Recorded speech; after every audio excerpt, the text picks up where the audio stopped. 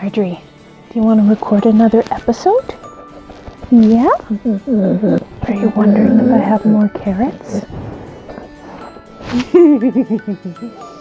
I love you too. I love you too. Yeah. Oh. Is that the spot? Oh.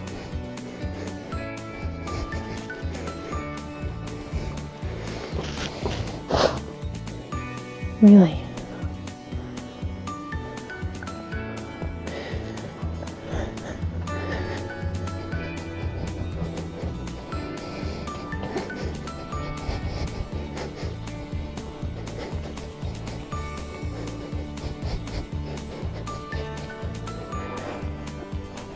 Oh, I can't tell where it is you want me to scratch you.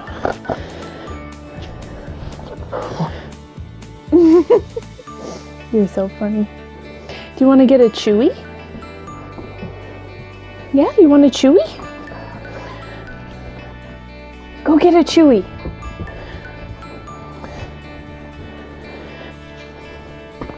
Let's see if she brings one back. Oh, you did bring a chewy. Come on. Good girl. Look at that. You got your buffalo bone. Oh, yeah. Good girl.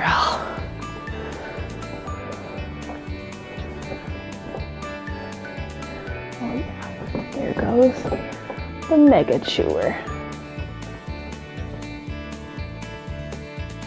Hello, everyone, and welcome back to the DeHart House. My name is Alicia, and I am your host of this crafty video podcast here on YouTube.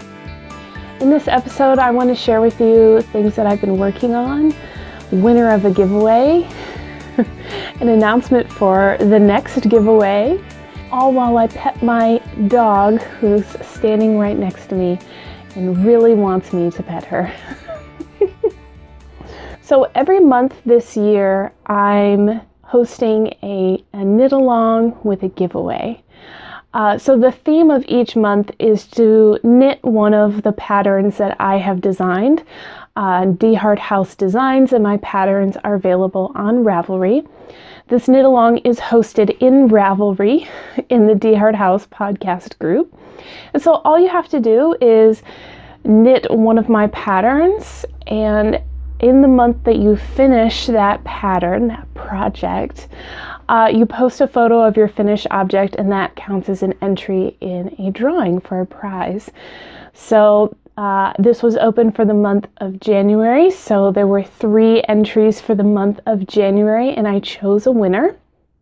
So, the winner for the month of January will get to pick out one of my patterns on Ravelry. So, you'll get one of my patterns gifted to you for free, and you will also be sent a bag. So, this is a uh, canvas drawstring bag that you will receive.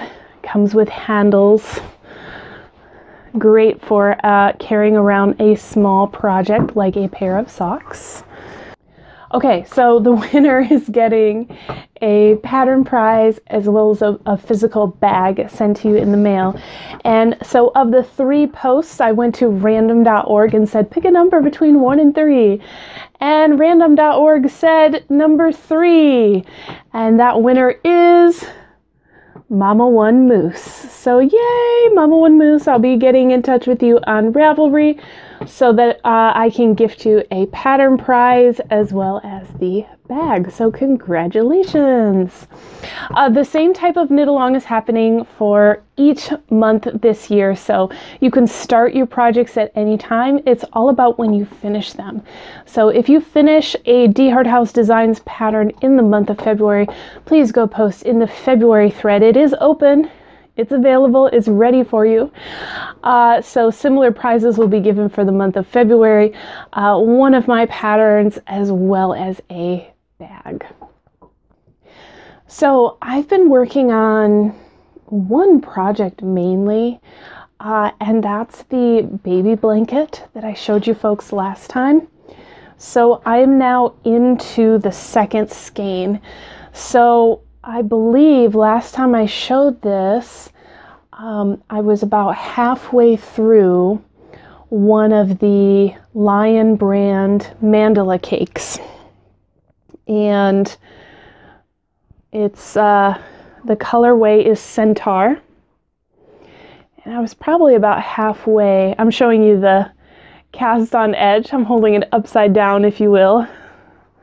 Uh, so I made it all the way through that one cake. So it goes from brown to like a rust color.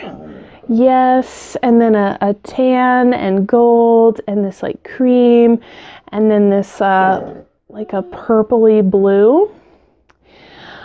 And so I went through one whole color sequence and then I asked you guys on Instagram, okay, I went out and bought a second cake of the same colorway, Centaur. And I wasn't sure whether I should join it so that it just stripes, so it just repeats brown, rust, um, tan, gold, cream, and like a, a indigo color. Or if I should reverse it so that the color stripes are mirrored. Uh, and it looks like you know there's a middle and it's mirrored on both sides and I asked you guys to vote, and I really appreciate uh, those of you who did. Um, and so most people said to, to reverse the stripes order and make it look mirrored. So that's what I did. So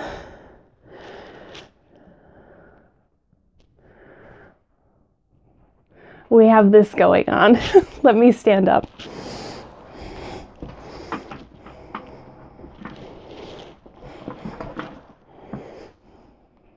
Okay, so I have not finished the second ball yet, but you can see how you've got like this almost purple, it's almost purplish in the middle here.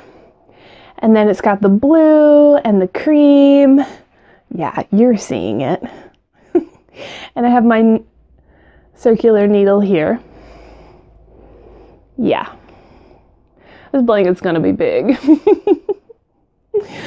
uh, but here's the rest of the ball. So because I'm reversing the order, I'm pulling from the middle of the ball this time. On the first one, I went from the outside, and it was so it was much more tidy.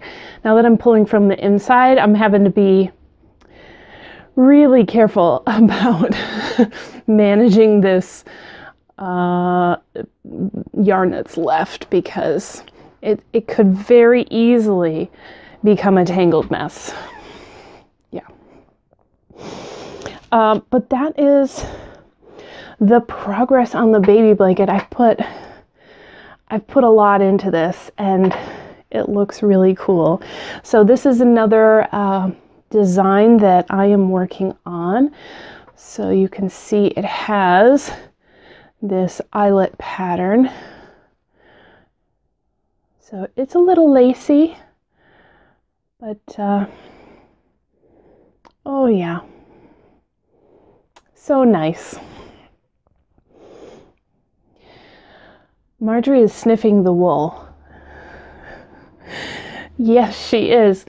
Um, I have bags of wool in the closet, and she has found them. I did not shut the closet door.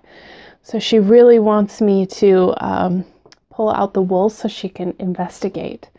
I'm not going to do that, but she really wants me to. She's literally begging me right now.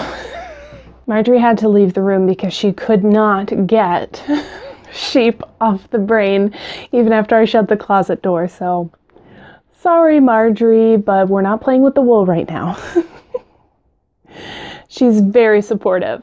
So, the second thing that I've been working on is a pair of socks. So, I have another sock design in the works, and I finished the first pair and I showed them to you on the previous episode. So, you can go back and watch that if you haven't already. Uh, so, I cast on another pair so I can see how it looks with a lighter shade of of yarn. the first pair is knit on a pretty dark color. I thought I'd try something a little bit lighter and I am really liking it. The colors, I don't know if you can see, um, they're kind of pooling in a way. It looks like the colors are spiraling around, which I was not expecting. Um, I mean, I think it looks fine. It's just, I was thinking I was going to get more of a uh, variegated look rather than a pooling look. So I just didn't anticipate that from the skein. Uh, but the texture stitch is working out really well. So it's, um, I'm knitting it top down, which is my preferred method. I have two circular needles, US size one. Um, I love magic loop and two circular needles. That's that's my favorite. Um, and yeah, it's just a really basic texture stitch that I'm working on, and I'm very excited to be working on this. So the yarn that I'm using is uh, Malabrigo, Malabrigo sock. So it is, um, does it say? It's superwash merino wool. Um, and the colorway is number 416, and there's the name. Indiecita. I'm not sure how to pronounce it, but there it is. So it's um, green and blue, like a bluish, like violet color. It's gorgeous. Yep. I'm very green today, not on purpose. I should tell you what I'm wearing. I oftentimes forget this. I'm wearing two pieces of knitwear today. I have on a sweater, um, which I made, excuse me, not not last year, but the previous year in 2019. Uh, this is the Weekender, and the pattern is uh, by Andrea Mowry. So I made it out of this beautiful uh, green tweed yarn. Maybe you can see the tweedy bits in here. I love this sweater. It's one of my favorites. And then I'm wearing a simple boomerang shawl that I knit before that.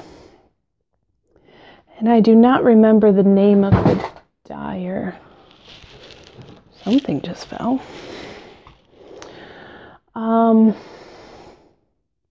I think the colorway is Ambrosia Salad. I think it was Woolen Boon. I don't remember. i would have to look it up on my project page, but uh, but it's a greenish color.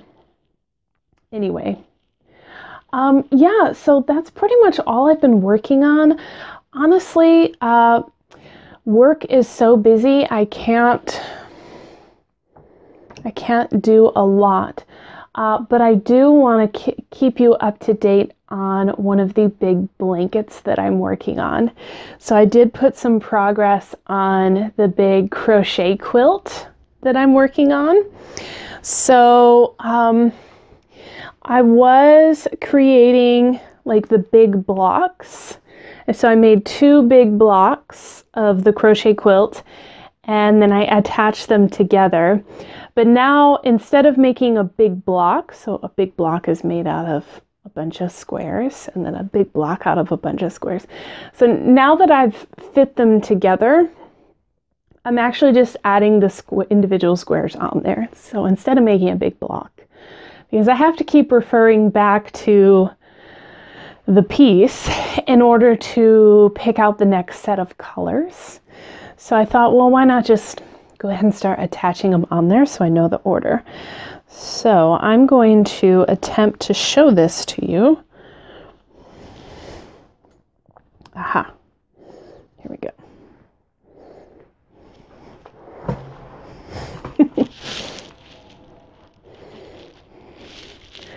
Voila! yeah! So you can see the two big blocks. They're the two like uh, warm color. EXO is grouped by warm colors and cool colors, which is super fun. So this was a big block and this was a big block. Oh my gosh! It is the width of a queen size bed. Um, it doesn't really drape over the sides of the bed at all, which is totally fine. I will probably end up putting a border around this in the end just to give it that last bit of polished look. Um, but queen size is what I was going for, so this is great. And then I've, I've put some more squares up on this side. Um, hard to show you, but look at it, looks so cool. So yeah, the idea is um, you make these individual squares here. They're granny squares, and you do on a diagonal here, half in one color and the other half in another color. Um, but because of these um, eyelets here, coming up from the corners, uh, you could see in the white, it gives this illusion of even smaller squares. Look at this. It looks like that's a square because of the little dots, right? Uh, that's not that's not a square that I'm crocheting. It's this whole thing. I think it's pretty neat. Um, so the pattern I will have linked down below in the description box. It's a free pattern. Uh, and I have a project page for this that I'm trying to keep updated. Uh, so I'm using worsted weight acrylic yarn, uh, various brands, uh, Red Heart, Caron, Bernat, those kinds of things. Um, and I think the pattern has a, a lighter weight in mind, like a sport weight. So my my squares are bigger because I'm using thicker yarn. Um, and, and that works for what I want it for. It does make the scale of the pattern larger. So I was imagining a, a smaller scale but because I'm using thicker yarn, it is bigger, which I should have anticipated. I didn't, but I love it. I love how it's turning out, so it's a happy mistake. Um, but yeah, so the crochet quilt is coming along. I have the baby blanket. I have a multicolored mitered square blanket. Uh, I don't know where it is. Is the problem. My guess is that it's in um, a Rubbermaid container in the garage with our camping stuff. I bet that's where it is. Um, because when we were packing to move, I think I just I threw it in one of those containers. Um, if it's not there, then I have no idea where that that thing is. It's not finished yet. it is another blanket that's in progress, so I will need to find its location and retrieve it if I have any plans of working on it. So, um, but I mean, I have other blankets to work on. There's no immediate need for me to go out in the cold garage right now. So I wanted to share a few little tidbits with you guys. Um, I went to the grocery store and I wanted to treat um, my husband and I to some wine that we could enjoy on the weekend. And I found this adorable bottle with sheep on it. I wanted to share it with you. This thing is going to get, we, we drink it.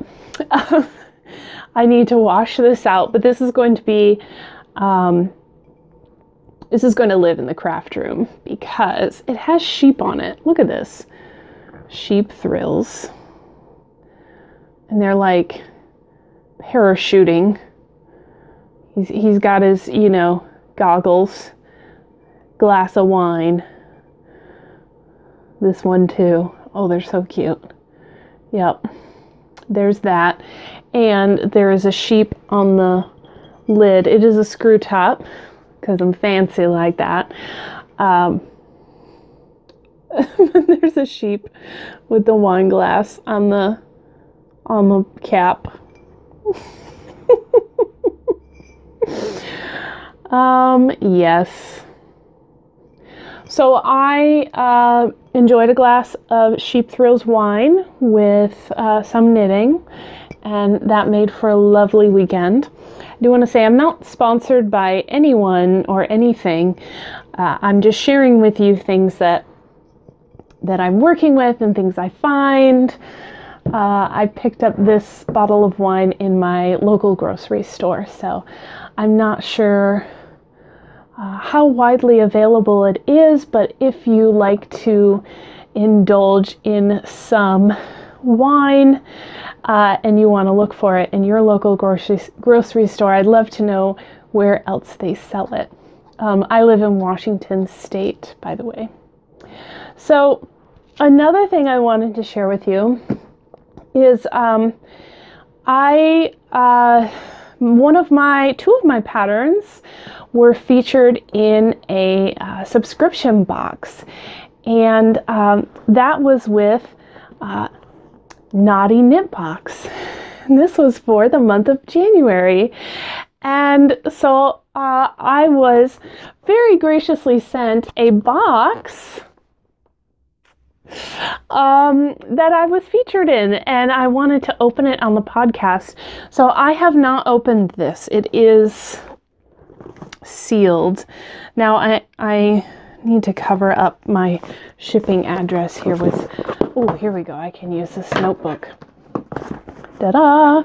Um, but I want to show you. This comes from Knotty Lady Yarns out of Roseburg, Oregon, and you can find her website here knottyladyyarns.com. And uh, so this is this sock edition. Yeah, and I love this. I want a rocking chair, and then boom, that would be me. So I'm going to open this.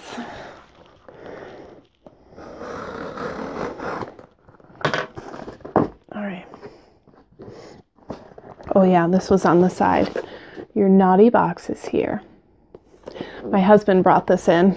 He's like, oh, package. He was expecting a textbook, and he's like, this isn't my textbook. okay, what do we have? All right, we have tissue paper, sticker, Squishy mail is the best mail.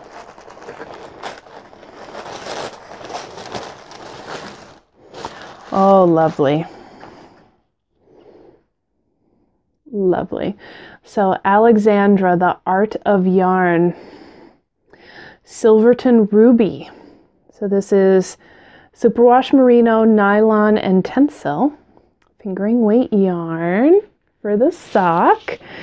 We've got, oh my gosh, there's a sock ruler in here.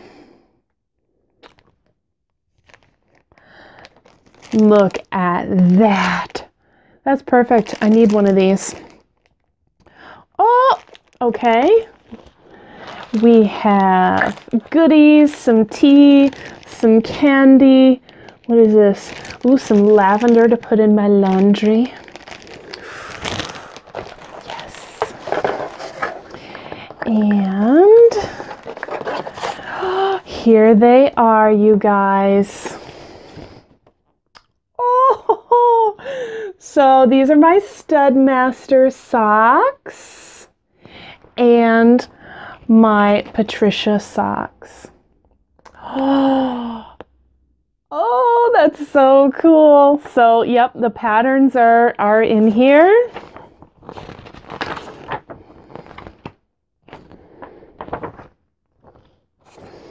How very awesome. Again, I am not sponsored in any way, but you should check out Knotty Lady Yarns. Oh man, very cool. Thank you, thank you, thank you. It was so fun working with her. Okay, I'm gonna have to knit some socks, some more socks. Very exciting. Okay, so that is all that I have for the knitting stuff. The garden has also been pretty productive, so I want to take a moment to take you outside into the chilly weather that we are having here in the Pacific Northwest. Oh my gosh, it feels so cold. Like there's a slight breeze, and it just makes it feel so much colder. it really is. so here's my window box with my seedlings under the grow lights. Just super fun, right? That's in the kitchen. So if we come outside, it's Marjorie over there sniffing something. so this bed up by the house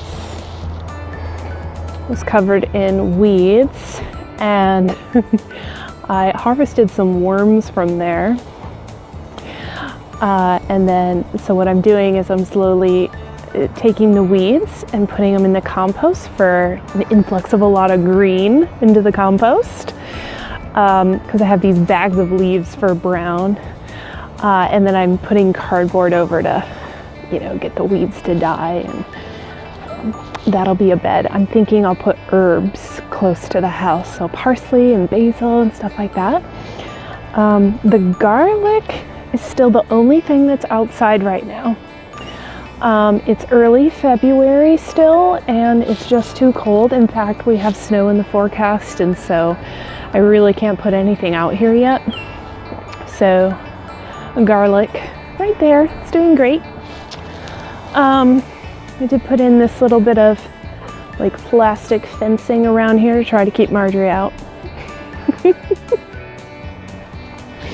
And then over here, um, let's see, can I, I can't switch the camera while I'm recording. Um, so here is compost. That's two bags of compost, two cubic feet of compost. Um, the rest is all just leaves those bags of leaves that I have um, because I can't find compost in the store right now. So, and my compost pile is, you know, still working on itself. It's not ready to be used. So I just went ahead and covered it up with the leaves. So I've got cardboard down and then the leaves. So when I do get compost, it'll just go on top. Here comes that breeze, making me feel really cold. I wonder what the wind chill really is. They come over here on the side. First of all, my neighbor has a fantastic garden going over there. oh, hello, Marjorie. She has brought us a toy.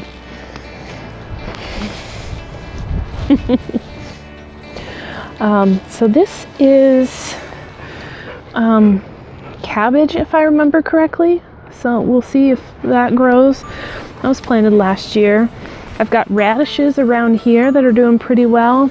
Kale in the middle, it's kind of, I mean, all this really got stunted. Um, these are carrots, they're not really doing anything. But why tear them up? I might as well see if they grow. And this is more kale. Just really weak, limpy. But I tore up all the weeds on the outer edge of the plastic and put it in the compost, so yeah, we're getting there.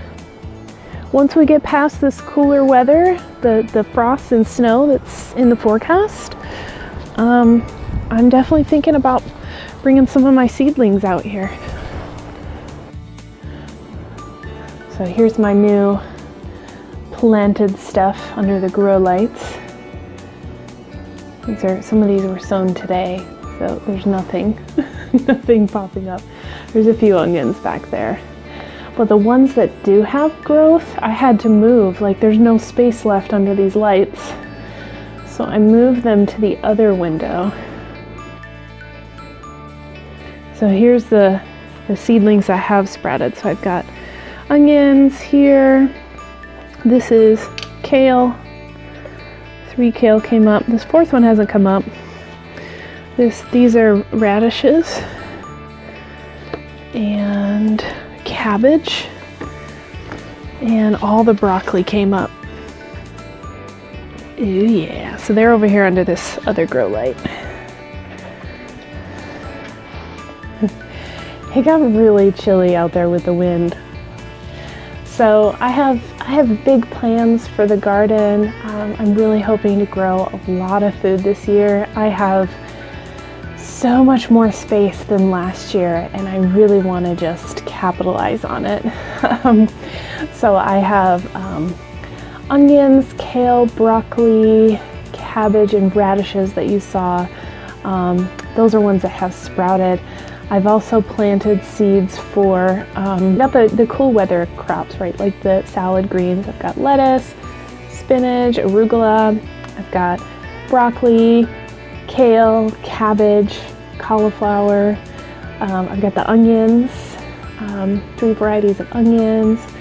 Uh, the garlic's already outside, right? I put that in in the fall, um, which I think I'll do next year with the onions, right? Uh, but uh, when we moved in here in the fall, I didn't have onion seeds, so I couldn't even have done that. this year I will.